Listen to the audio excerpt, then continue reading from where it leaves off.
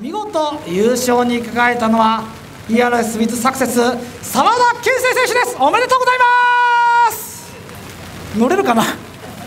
そしてそして第2位同じく ERS ウィズサクセス澤田流星選手です。おめでとうございます流星そして第3位に入ったのはシナジーリンクス森谷エイト選手です。おつあ今カッパ取ってますね森谷選手。カッパ取ってます。カッパ森谷選手？足取れない？OK おめでとうございます。見事優勝は澤田健生選手おめでとうございます。第2位が弟流星おめでとうございます。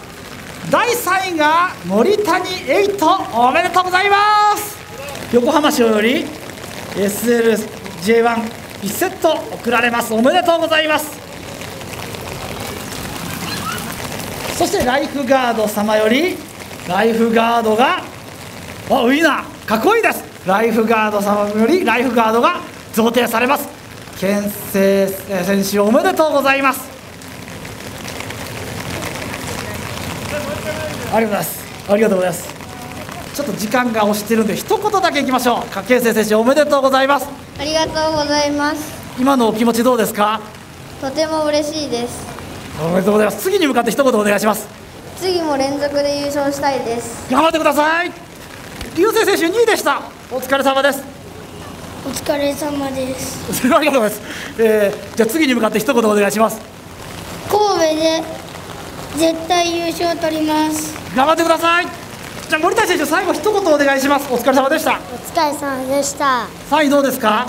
えー、スピンがなかった2位でしたけどスピンして残念でした。じゃあ次に向かって。次は1位取りたいです。ありがとうございます。力強い一言ありがとうございました。これで FE ジュニアカデットクラスの暫定表彰を終わらせていただきます